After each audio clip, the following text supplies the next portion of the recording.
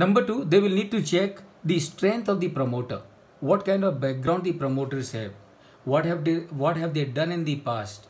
Which are the companies in the group? How those companies are doing?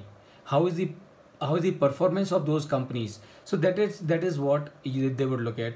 Management quality. Is the management traditional or is the management professional?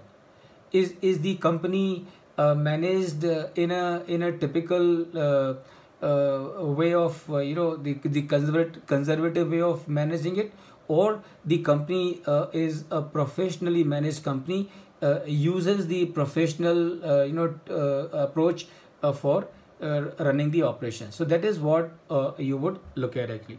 What is the business risk? So uh, when it is business risk remember it will cover each and every part part of it.